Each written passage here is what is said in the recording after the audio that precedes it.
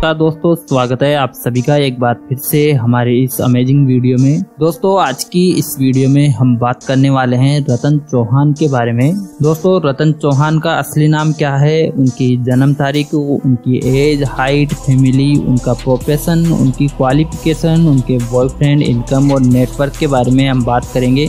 तो दोस्तों, अगर वीडियो पसंद आए तो वीडियो को लाइक ज़रूर कर लें, साथ ही चैनल पर नए तो चैनल को भी सब्सक्राइब कर लीजिए। तो सबसे पहले दोस्तों, आपको बता दूँ, रतन चौहान राजस्थान की रहने वाली है और रतन ने अपनी कैरियर की शुरुआत टिकटॉक से की थी। इनके टिकटॉक पर चार मिलियन से ज़्यादा फॉलोअर्स थे और इनके बॉय लुक वाले लोगों को बहुत पसंद आया है। रतन सिंगिंग भी करती है और मज़े की बात है कि वो म्यूज़िक वीडियो में भी लड़के का ही रोल करती है और इनके इसी अंदाज को लोगों ने बहुत पसंद किया है।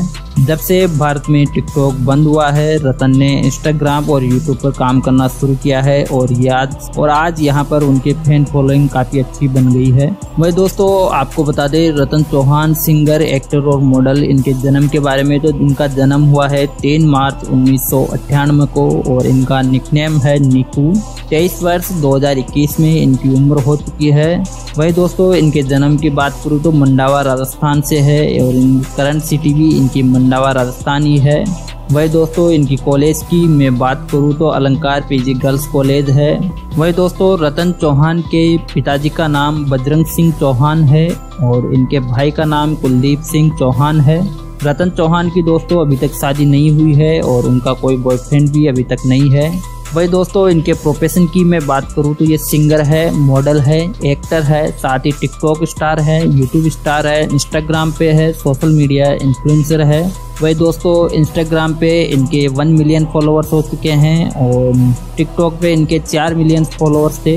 वही दोस्तों, रतन चौहान की यूट्यूब चैनल की मैं शुरुआत की, आपको बात बताऊँ तो 2018 में इन्होंने शुरुआत करी है और 17 नवंबर 2018 को अपनी पहली वीडियो अपलोड की।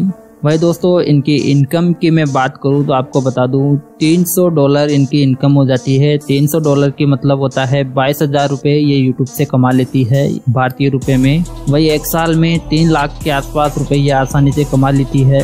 वही दोस्तों, इनकी नेटवर्क की मैं बात करूँ तो पाँच से छह करोड़ रुपए बताई जा रही है। वही दोस्तों, इनके मैं शरीर पे टेटू की मैं बात करूँ तो उनके एक हाथ पे टेटू बना हुआ है, दूसरा इनकी गर्दन पे टेटू बना हुआ है। तो दोस्तों, इस वीडियो में हमने आपको बताया रतन चौहान की बायोग्राफी उनकी डेट ऑफ़ बर्थ उनकी हाइट एज सब कुछ आपको बता दिया है। पूरी जानकारी आपको मिल गई है। वीडियो आपको कैसी लगी, हमें कमेंट करके ज़रूर बताएँ। साथ ही ऐसे ही अन्य अपडेट के लिए बने रहे हमारे साथ। तब तक के लिए जय हिंद, जय भारत।